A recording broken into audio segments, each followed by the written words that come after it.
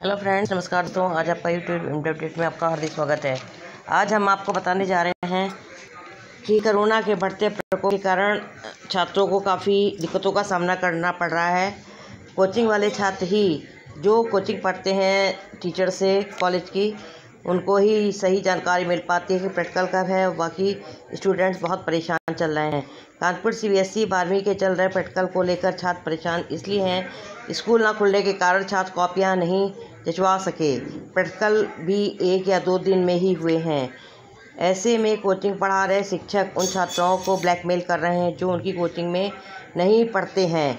GT road स्थित एक school के फिजिक्स के एक शिक्षक का छात्रों ने ऑडियो वायरल किया है।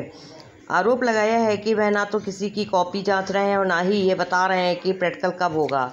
इसके विपरीत उन्होंने उन्होंने कोचिंग पढ़ने वाले छात्रों को फिजिक्स में प्रकाश से जुड़े दो प्रैक्टिकल तैयार करने को कहा है। संभावना जताई है कि इसी में से एक करना होगा।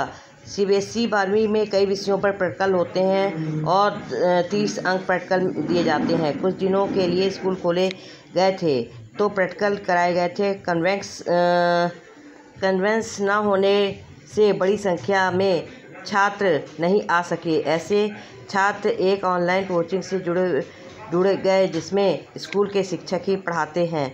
छात्रों ने गोपनीय ढंग से प्रिंसिपल से शिकायत करते हुए उन्हें प्रैक्टिकल परीक्षा से दूर रखने को कहा है। बोर्ड की समस्या ये है कि ये बड़ी संख्या में शिक्षक प्रैक्टिकल लेने नहीं जा पा रहे हैं। ग्यारह जून का समय होने के कारण यह प्रैक्टिकल रोज़ रोज़ स्किप किए जा रहे हैं।